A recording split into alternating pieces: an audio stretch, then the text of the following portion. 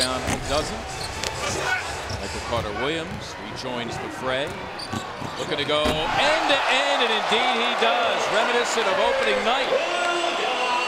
Taking I-94 from one end to the other. Nice job there. He put it in overdrive.